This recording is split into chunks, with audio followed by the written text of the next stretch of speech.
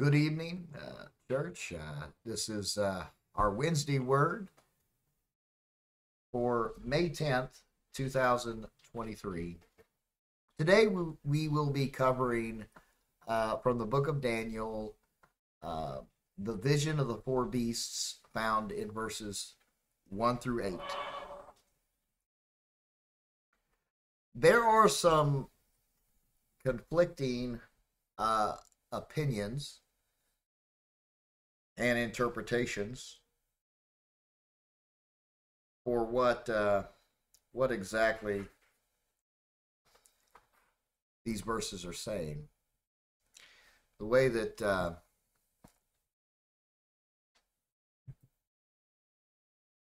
there's some things that can be ambiguous. There's some things that you can go, okay, well, we can have some leeway in how we might view this, and there's others other aspects or the, the text itself tells us what it is. And I notice sometimes uh, we get more enlightenment by knowing what something isn't than what something is. And in this chapter, we're going to run into texts that while we may not know exactly what it's referring to, we can rule out certain things and say that it's not referring to this. And so with that in mind, I'm going to go to our next slide here. Uh, and these are the first couple of verses in chapter 7 uh, where Daniel has his dream of, of the four beasts. Uh, I'll go ahead and read the first two verses here. In the first year of Belshazzar, king of Babylon, Daniel had a dream and visions of his head upon his bed. Then he wrote the dream and told of the sum of the matters. Daniel spake and said, I saw in my vision by night, and behold, the four winds of heaven strove upon the great sea. Uh, there's been different comments about what that might be. Uh, in literal terms, the Great Sea was often used at that time to refer to the Mediterranean Sea, but we know sometimes seas are used in the symbolic sense of chaos. differing people groups of chaos I know in Revelation, where it talks about the waters upon which the harlots sit, that they were different nations, tribes, tongues, languages. So this could be talking, and this would certainly fit here uh, the the conflicts of the nations, because uh, he's talking about four kings that are going to arise, and you're going to see.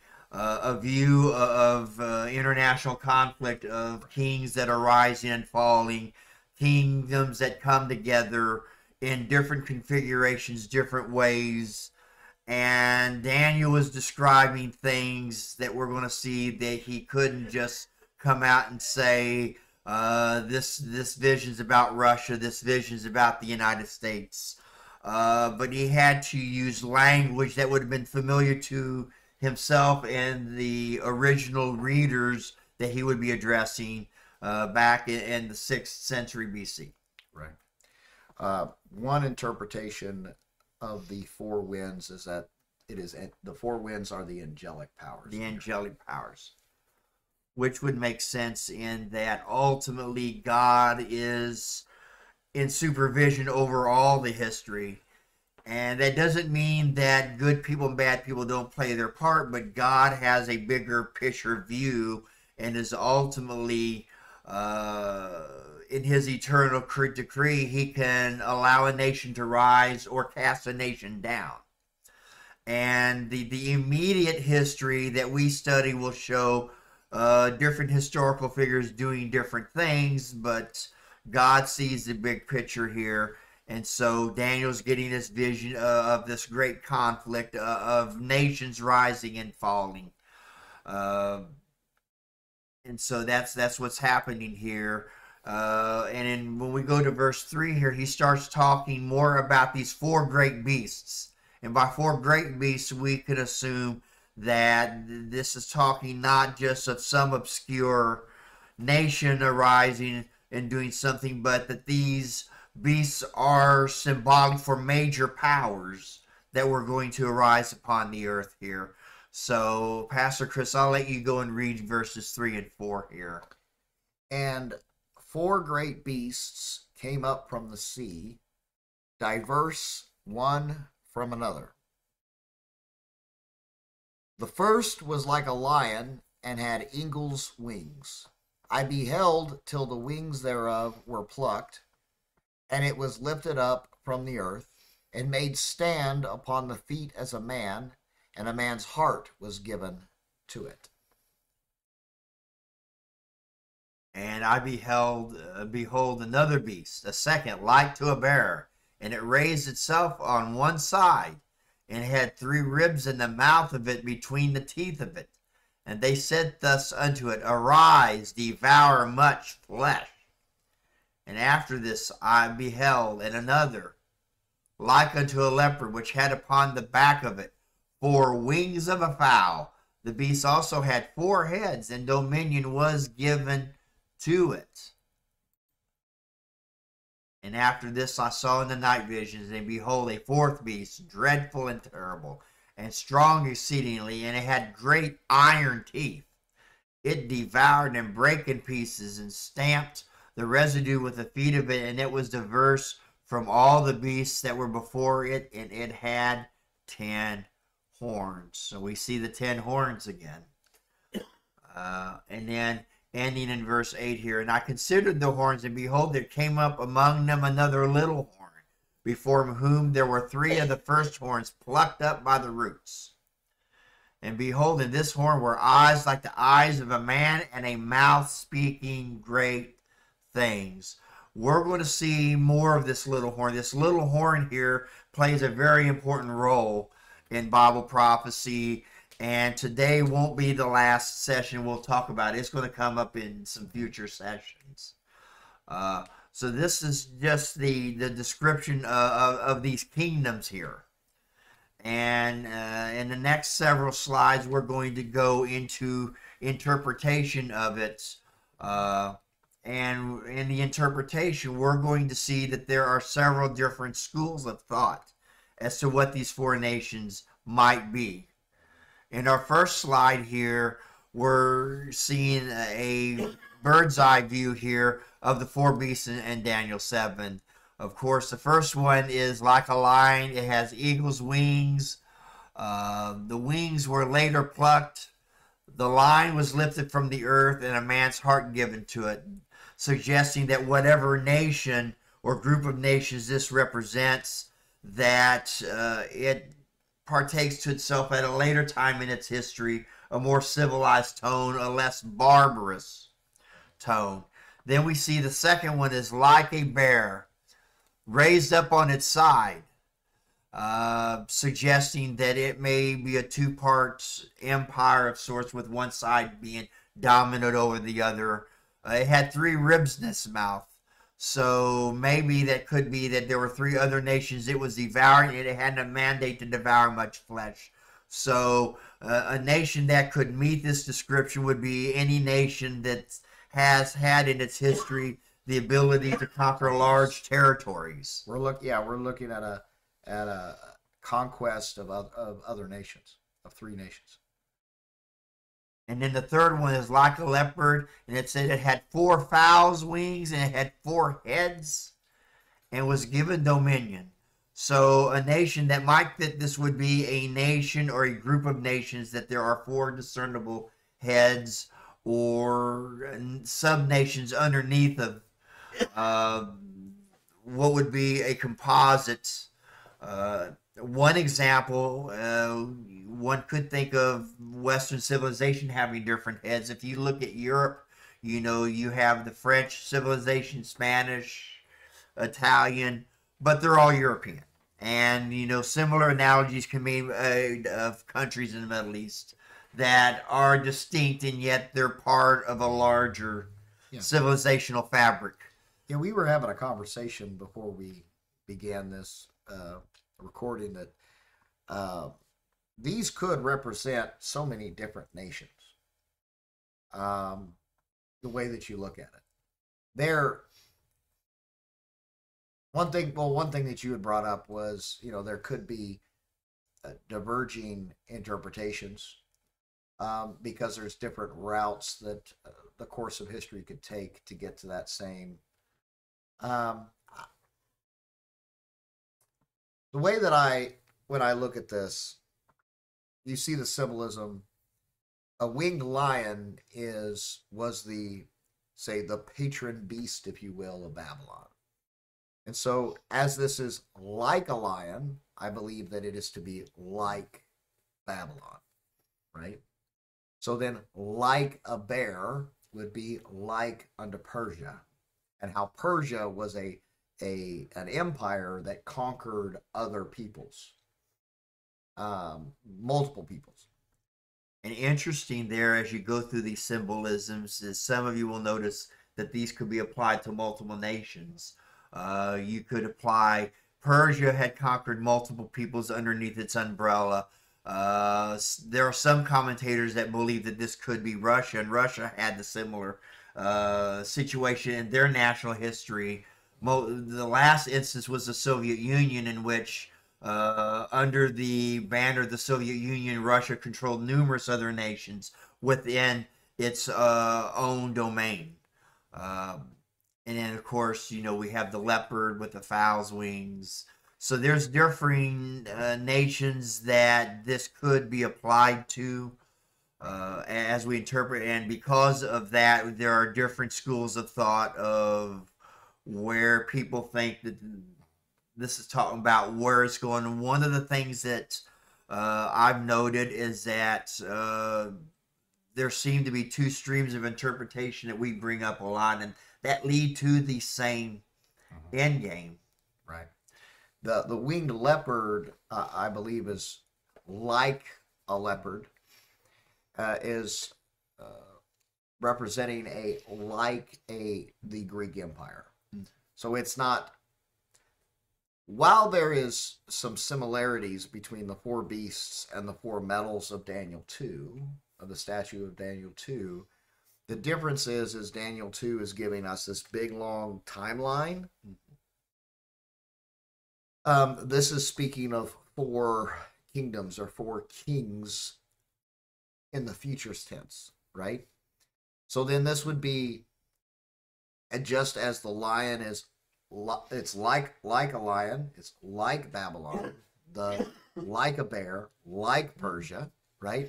Like a leopard would be like the Alexandrian yeah. Greek Empire. And then we get into the fourth beast, which, and we're going to show this as we go forward. The fourth beast is a conglomeration of the three. Yes. Which is symbolic of conquest. There's great war. The bear is the is the uh, is given the uh, mandate to devour flesh. That is yeah. to wage war. Um, the lion prior, the winged lion, is uh, what is given a man's heart, hmm. which here's something that we we have to recognize. Let me kind of spend a little time on this. So to the modern idea, when you say heart in the metaphorical sense, you're thinking of one's capacity for empathy or compassion, mm-hmm. right? And while in the ancient world it would include that, it, it, it, would include what we would also today consider our the logos, the the the ability to um, uh, reason. And this would be even more true in the Hebrew and the Aramaic Right. Now, there's an interesting comparison when you compare the Great Commandments. Uh, Moses' version said, Thou shalt love the Lord thy God with all thy heart, uh, all thy soul, and all thy strength. We don't see the word mind there because heart covers mind. Right. But by the time you get to uh, the Greek civilization, uh, the Greco-Roman civilization, uh, 1500 years after Moses, when Jesus then rephrases that, he adds the words, Love the Lord thy God with all thy heart, all thy soul, and all thy mind, and all thy strength. So there's you have the extra term there because by that time, heart was the the definition was more towards the emotional and right. the pathological, whereas the mind was the intellectual. But uh, in more ancient times, the heart covered both the intellectual uh, faculty and the capacity for emotion. Right. The winged leopard is giving dominion over the three. And at some point between the three, the, the third beast and the fourth beast, there's some great war is the way that the text, um, and, and from that comes this beast, this beast system that wins out over and consumes and and incorporates within itself the other three, the previous three. Now, the, we're so far so good on all the interpretations. There's not really, we've not covered any area yet where there's divergencies. But as we go into the next slides, we're going to start discussing some of them because of some of the things on there. Now, this next slide here, uh, it's titled The Four Kingdoms of Daniel, and the creator of that slide holds to an interpretation that became common in the Middle Ages and is still a very popular one, if not the most popular one. In this interpretation, it assumed that there is a perfect symmetry between the four kingdoms in, Daniel 7 and the statue in Daniel 2. Mm-hmm. Uh, we're going to cover it and then in a few more slides show why this needs to be corrected somewhat. Uh, and in this interpretation, the head of gold uh, corresponds perfectly to the winged lion that is Babylon. And of course, that was fueled by the fact that if you look at the symbiology of Babylon, their national animal was a winged lion. Right. And then uh, the bear uh, represents Persia, as in literally Persia. The leopard represents literal Greece, and then the uh, the fierce beast, the, the monstrous beast, that's the fourth beast, represents the Roman Empire. Now, there is one wrinkle to that interpretation where some commentators will extend that to be in the Roman Catholic Church. And that particular polemic was common in the early history of the Reformation, right. where uh, commentators transferred all the prophetic destinies of the Roman Empire to the Roman Catholic Church. They proclaimed that the Pope was the beast, the Pope was the Antichrist, right. and that the key to coming out is to avoid the Catholic Church. Right. And if you're Catholic, come out of the Catholic system. Right. So I I've heard that in in churches when I was a kid. I've I've heard this. Um, that explanation, I've, I've heard the Catholic Church referred to as you know the you know great babylon and and you know the, the system of the beast and that the pope is the antichrist i've heard all of that and if you read the Chick tracts he'll won't he'll use the word great whore and for some reason i don't know why he liked the term great whore i've heard it called whore harlot uh, and of course uh, in this narrative the roman catholic church was the entire harlot I believe they was actually thinking too small because the one world religious system is bigger than any one religious group.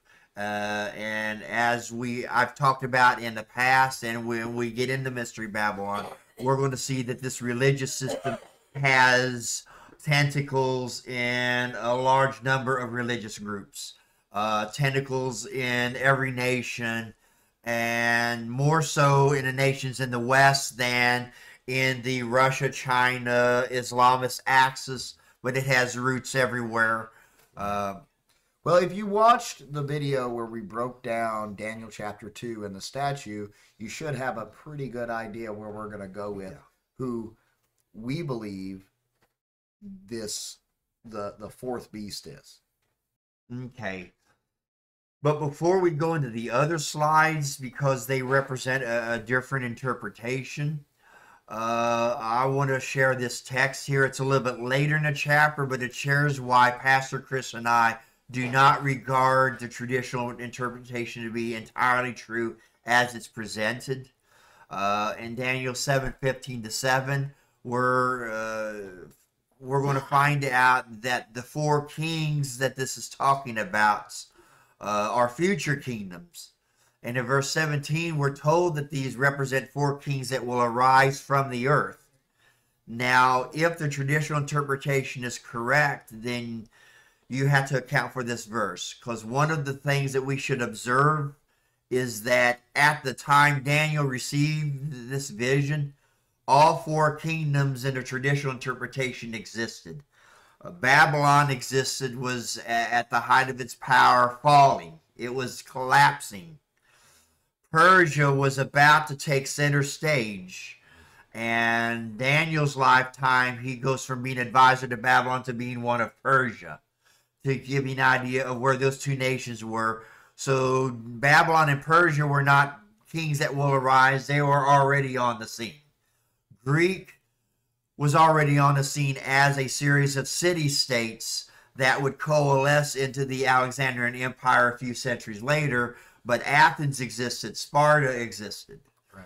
uh, the kingdom of Macedon existed, uh, contemporary to Daniel. And then the Roman Empire, while it was not an empire at this time, the city of Rome was an actual contemporary city to Daniel. Yeah, it was a it was a small city at the time. It that was during the um, uh, monarchic period before the republic. Yes. So um, if, if this is referring to four kings who will arise, then we can rule out it being literally these four kingdoms that uh, we've just talked about. It's four future kingdoms that will arise. And as we go into some of the other texts here, we're going to see that those four kingdoms uh, are kingdoms that are either contemporary or in close proximity to themselves, but at a time future to Daniel. And so now we're going to get into, in our next slide here, an alternate interpretation. And it's not one universally held, obviously, but one interpretation that exists is that these four beasts are referring to beasts or to nations that are contemporary to us. Mm. Uh, and in this uh, understanding here, the line with eagle's wings would be the English speaking world. The line would be Great Britain. The eagle's wings is the United States. The plucking off of the wings, the American Revolution. Uh, and in this interpretation, the bear is the Russian bear. And the mandate to conquer was the Soviet Union. I've even heard some commentators state, and I don't know that we could state it with this precision, but one commentator I once heard said that the nations was the nations of Lithuania and Latvia and so there's such a thing as reading the newspaper too much into. Well, that's that's exactly where this comes from. So I'm yeah. I do not at all subscribe to this interpretation. I do not believe that this is what that is. Um, I understand that it is uh, pretty common in certain circles, yeah. um, but I, I just don't see that that that is how we should interpret it. Okay, and in this interpretation, uh, they believe that the leopard is Germany and they get it from the leopard tank. I think that's sort of dicey. Uh, of the three so far, probably the one that resonates most with people would be the line with the eagle's wings, especially to the, those followers of prophecy that are Americans or people that come from English speaking countries that resonates. Uh, we have to be careful that we're not looking at this through a modern lens, yeah. but trying to look at it through the lens of when it was written, right? So from the modern lens, we get the English lion. Yeah. And the eagle's wings. Oh well, yeah. English speaking yeah. world. Um, the bear being the uh, uh, an animal symbolizing Russia, which wasn't even a thing at that time. Right? Um, the leopard tank. Uh, you know, that I one's just, yeah, that one's that one's a bit that that the, that one's a bit of a stretch. And of course, somebody could make the argument, you know, as we go into looking at some of the other interpretations, and I'll let you flesh out your interpretation here on how you believe that these beasts are like Babylon uh, right. Persia, Greece, and Rome, but not literally Babylon, right. Persia. So the the the winged lion is the symbolic beast of Babylon, right? You go to any Babylonian ruins in Iraq, and you'll see murals and and uh, statues of winged lions, right? So when we go to the text, it says like a weak lion right? If we we expolate from there, we see that this is this is a like a winged lion, as in like a Babylon, right? The uh, the bear like a bear is like a Persia. So this would be like a new Babylon, a new a new Persia, a new uh, Greek Empire, or new Alexander. Um, when we then go to the, the the beast, which yes, it is a composite, right? And we uh, when we look at uh, the descriptions of the beast incorporates aspects of the previous three, right? That's where we're getting the composite. And in the next slide, we'll show the textual basis for that. Right. You know, uh, and of course, you know, playing the devil's advocate here in defense of this position, I could see somebody saying, well, uh, the line with eagle's wings, England is kind of sort of like Babylon, Russia's kind of sort of like Persia, and Germany's kind of sort of like um, uh, Greece. Uh, so I wouldn't necessarily rule these out, but I'm inclined to agree with you that we don't want to dogmatically put the modern lens on it. Uh, what we can say is that there are three powers that will arise that are going to put in power the beast system. And I would like to read the uh, next slide here. Uh, and this is a textual basis for the idea that the beast is a composite of three empires. Right, uh, I want to read it and then show how the two different interpretations may not be as far removed as what it would seem on the surface. Uh, then I saw a beast coming up out of the sea. It had ten horns and seven heads, and on its horns were ten diadem crowns, and on its heads a blasphemous name. Now the beast that I saw was like a leopard, but its feet were like a bear's, and its mouth was like a lion's mouth. The dragon gave the beast his power, his uh, throne, and great authority to rule. So we see we're not just uh, assuming that it's a composite. We know from the text in Revelation that uh, the imagery is pulling from Daniel, from the three beasts of Daniel. And I believe that the difference in the two interpretations, even though on the surface they would seem to be wide chasm, uh, maybe narrower, uh, and it relates to the nuance in the statue, uh, whether you interpret the statue in a conceptual manner of multiple powers coming together at the global scale to put in the beast, or whether you're seeing the beast coming from a more local. Now, if you interpret this locally, then you can think of two or three powers emerging out of the Middle East, out of Turkey, out of the Turkic republics, uh, and that these uh, three beasts is another representation of the ten horns that brings the Antichrist in and brings in a Islamic. entity that would be called the global caliphate, and this global caliphate then becomes the one world government. That's one way you can look at it. And so you have this one world Islamist government that's based out of the Middle East that either through intrigue or through massive war where the other more powerful countries become decimated and the only power left is the powers in the Middle East.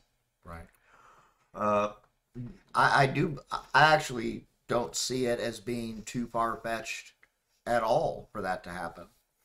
You have powers that be right now, right? The Eastern and Western powers poised for war, for global war.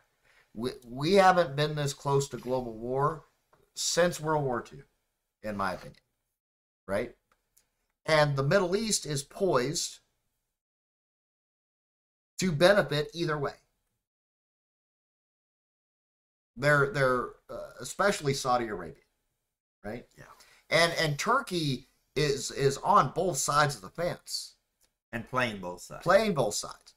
So if, if you have the Eastern and Western powers and they have this big global conflict and they're and and decimating one another, and the Middle East then is able to amass a considerable amount of wealth from both sides, right? Fueling this war. You also take into account the massive Islamic uh, migrations into Europe and North America. Um, you take into account the Islamic communities, the uh, nearly two dozen uh, terrorist training camps that have been identified right here in the United States. Um, if you have uh, e economic collapse mm-hmm. and uh, civil unrest and and before order can be reestablished and you have already established uh, cells that can seize towns or counties or uh, regions of a state or even an entire state, um, the south of France or you know uh, you know uh, regions in in England, um, you could see how this could result in, or at least I can see easily how this could result in a global caliphate. It could be the catalyst for it. Well, one where Russia uh, almost decimated now. Russia's almost out of the picture outside of nukes.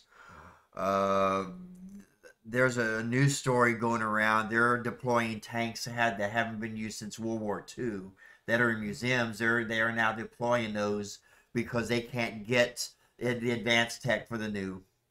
So Russia's almost and America and Europe have an Achilles heel that can be neutralized in one stroke our technology is an Achilles heel. Mm-hmm. And that is if you had a global great EMP or a series of EMPs uh, that could turn the tide, shift the balance of power technologically real fast. Uh, yeah, you're you're pre say ni- pre 1980, pre 1979 technology would not be affected by an EMP uh, when you're talking about you know tanks and you know arm armored personnel carriers, um, aircraft. Um, if Russia is already using employing older tanks, yeah, I would imagine an EMP would have a, a direct effect on something like an, M1 Abrams or a Humvee or uh, missile systems. So you know, that's, you know, a very realistic scenario. You know, another scenario, in the global scenario, you could still have a global caliphate, but it would involve intrigue, manipulation. It would involve uh, using crafty methods to seize existing institutions, redefine those institutions. And if anyone doesn't think institutions can be refined, just look at the culture war in the United States. Look at the institutions and think about what some of them represent now compared to what they used to represent. Yeah. An example Harvard was established originally to be a seminary. Yeah. It is no longer a seminary. And in fact, some commentators would argue that it's anti Christian. I would argue that. I would argue that 99.99% of our universities are anti Christian a vast majority of them. I agree as well. I'm just using language that doesn't get us flagged. uh, you know, uh, flag us. I don't know. Go ahead and flag us. Yeah, well, better to be flagged for the cause of Christ. You know, in our last slide here, it's talking about the little horn. And Pastor Chris, I, I, I'll let you read uh, the passages about the little horn, and then when you're done reading one, then I'll read the corresponding one from Beast of the Sea. All right. And he shall speak great words against the Most High. Daniel 7:25. Revelation 13:5 speaking great things and blasphemies. And the same horn made war with the saints. Daniel 7:21. Revelation 13 7. It was given unto him to make war with the saints. Shall wear out the saints of the Most High. Daniel seven twenty five. Revelation thirteen seven. War with the saints and to overcome them. More stout than his fellows. Daniel seven twenty. Revelation thirteen seven. Power was given him over all kindreds and tongues and nations. They shall be given into his hand. I think there was an issue with that slide. Yeah, I think I cut got that cut off. off. Well, you get the point. There's a direct, you see direct parallels between the little horn and the beast from the sea in Revelation. We can see then that these two prophetic writings are referencing the same individual. Yes. Uh, and there there's more to be talked about the little horn. It, more revelation is given about the little horn in Daniel 8 when we start going in, into there. Uh, one of the things that we're going to learn is that the little horn is the same as Satan's seat. Uh, and there's actually a double entendre going on. One part of it is it's a symbolism for Satan, Satan's activity on earth, uh, and there's imagery of a third of the stars being drugged down, the demonic rebellion. But then the other side of it is that the little horn is referring to a nation that would be perceived as having little might. And when we get there, we're going to see that uh, manipulation and intrigue and craft is used to gain power. And so uh, that's another way that the, this antichrist system could come power. We can get the global caliphate through massive war, or we can get it through craft and intrigue and cloak and dagger.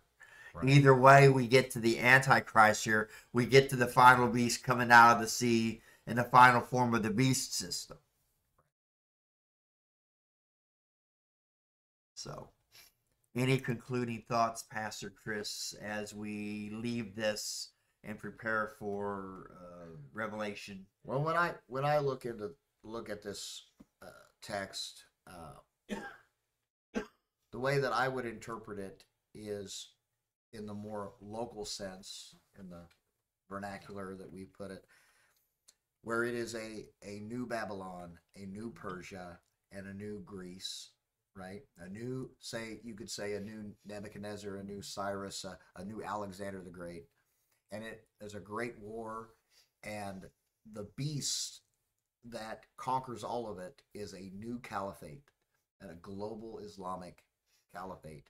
And from that will be the little horn, which is the Antichrist. That would be that would be how the local version would play out. And Turkey and the Turkic people is just like a spine hovering over uh, the other nations. We do have a, a Persia.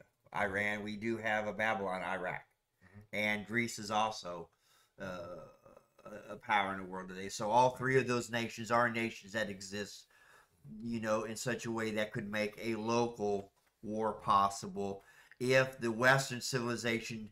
Uh, and, and Russia and China got decimated through their own wars in a power vacuum. You could have the local interpretation possible.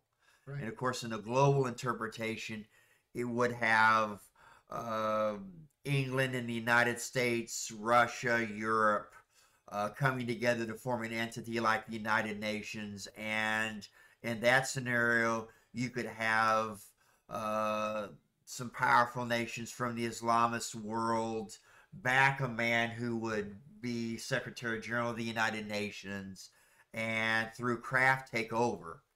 So, and I think either either pathway is viable in today's climate. Either one could happen. Uh, it's a matter of waiting and seeing, and it's a matter of us to being prepared and at the ready. Uh, the spirit of prophecy is the testimony of Jesus, and we have to be ready to give the testimony to Jesus, to point to Jesus, to show that we are in the last days. Now is the time to repent. Uh, and we are in very dangerous times through either war or intrigue. Uh, the ride's about to get rougher. Yeah, it's about to get a lot, a lot rougher. If in the the the the uh, interpretation that I personally do not at all believe is the case, but where the lion is the is the English speaking world, and the bear is Russia, and the leopard is Germany, and then the beast is the UN. In that interpretation, I could see where one could come to the conclusion that, say, Klaus Schwab is the Antichrist. I, I could agree that he's probably some type of Antichrist. I mean, there's evil people everywhere. Yeah. Every path you go, every I mean, so you, you can find validity. And the, and the Bible teaches there are many antichrists. Uh, when we when we talk about the antichrist, it's simply the ultimate antichrist, the last in the line of many. Anyone who denies that Jesus is a Christ is an antichrist, with the antichrist being the ultimate version of all of that. Uh, as events converge into the final form of the world system, uh, the final form of organized opposition of Jesus Christ, uh, the configuration of kingdoms that Christ meets when he returns to set his feet on the Mount of Olives to uh, set up his kingdom on earth, when he comes down as the stone cut without hands that demolishes the whole world system and then grows to consume the whole world and set up God's kingdom on earth. Yet Klaus Schwab does seem like a bit of a movie Bond villain. Yeah. Um, yeah, it, there's you could come up with good arguments for any any of these interpretations of being valid, and the way that I interpret it could be completely wrong. I could be completely wrong on this. Same here. I I do believe though I, I mean, obviously, it's this is what I believe, so I believe it to be the most likely interpretation. Um, maybe I myself am guilty of looking at this through uh, a modern lens, but that's when I look at the text, this is what I see. But to sum up, what we can be certain is that Daniel's describing nation's future to his perspective, that there would be three nations that would arise.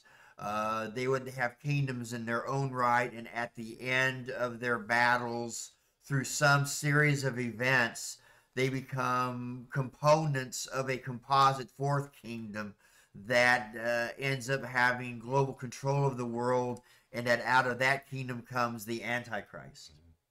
And that at the end of this process, we're going to see a one world religion and a one world government that's opposed to God and persecutes the people of God. And eh, only to be destroyed by Jesus at his coming. You know, historically, even beyond the, the Roman persecutions, no other entity has persecuted Christians more than the Islamic world. That is, and that's precisely we would see a, apocalyptic levels of persecution if the entire world became Islamic. Unimaginable. Uh, I once read a hundred million. So they're the numbers uh, yeah. of Christians martyred by Islam rivals, China, and cons- which is a big deal considering that the Islamic world had only a small fraction of the people that right China had. And you know, anytime you're getting over 100 million, you're talking about a, a mega tyranny here. Any right. that's more people slaughtered than Hitler, mm-hmm. and arguably more than Stalin, though the total number of people dying under that is right around that if you count the entire 70 years of, of Soviet. Right. Well, that's you know Stalin was at a much faster pace because the the Christian martyrs uh, from uh, Islamic persecution was over centuries. But now, much of that persecution wasn't just persecution unto death. There was also Christians who were forced into slavery by the, for instance, the pirates of the Barbary Coast. Um, the women that made up the harems were Christian women that were had been taken from coastal regions in Europe. Yeah, it's a, a state-sanctioned rape was part of their toolkit. It still is in some, you know, uh, the Taliban did that. We look at uh, look at that little horn and we start look that that being the antichrist and then we look from this just stay with me on this perspective get to the mark of the beast in the book of revelation we talked about this privately um, when there is a a caliphate that is established and then a caliph over it that everyone um, Muslim or not, has to swear allegiance to that caliph. That that could very well be what the mark of the beast is. It would certainly fit. Uh, the Greek word's charagma, and it refers to either a tattoo or some other marking that would be put upon slaves to indicate who owned the slave. And so a component of that one component is, is that the charagma indicates who your allegiance, who do you owe your allegiance to?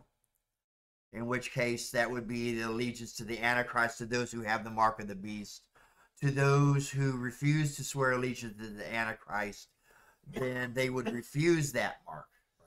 Uh, you know that that also fits because in a in a in a caliphate, everyone is a slave to the caliph whether free or slave or not, but due to one's loyalty, demanded loyalty, that your will is consistently subservient to that of the caliph, that uh, in essence makes you a slave to the caliph. And of course, in contrast to the mark of God on those who know Jesus Christ, right. we refuse the mark of the beast because we have the mark of Jesus Christ Amen. and we're sealed with the Holy Spirit and we belong to the Lord. Uh, you know, and so you, you have that component. Of course, the other component is what form does it take? And that will be a discussion we'll need to do it another time whether the mark is some type of digital electronics or, or, or whether we should think more primitively uh, the when we get to that text, we're going to see that some there's some kind of media or medium or substrate that that marks over so that everybody knows who belongs to the beast and uh, something and it'll be something that we'll be able to use to determine who can engage in commerce in the marketplace well the market the mark of the beast wouldn't be something that would be thrust upon you against your will you would willingly take it those who take it willingly take it and it, and it involves worship. Because if you force it on people, then you don't know who has allegiance and who does not. So you you simply you create a scenario where people would be forced to give allegiance versus you know taking somebody, tying them to a gurney, and just branding them. Right. Uh, and of course, in, in God's overarching supervision, the issue is who is Lord. And in that, everybody has to make a decision. Is Jesus Christ your ultimate allegiance, or is there another allegiance that's higher than, than Christ? And everyone on earth will have to make the decision. No one will escape the necessity of it. There's not going to be any rafting out. There's not going to be a spaceship carting you away from the earth, teleporting you away from the earth so that you don't have to face the beast. Uh, those who are alive on the earth at that time will face that decision, and I believe it's not that far off. We're already seeing dry runs of things that are similar that have already been thrust upon us uh, as a dry run to see what will people do. All right. Well, um, I think we've we've come to a good uh, place to stop for the yes. for the night, and uh, we will pick back up next week. Uh, Daniel eight, we're going to be talking about, or do we want to stay more into? Well, let's let's go ahead and finish seven. Okay. Let's go ahead and finish seven because. Uh, well, anyway, let us uh, bow our heads in prayer in closing. Heavenly Father, we come before you today in praise and thanksgiving. We praise you for your many, many blessings. We pray that you use this message to open the minds and the hearts of those who see it. Be with each and every one of us as we go our separate ways and bring us back again safe next week. We praise you now. We praise you always, for you alone are God. In Jesus' name I pray. In Jesus' name we pray. And all God's people said, Amen. Amen.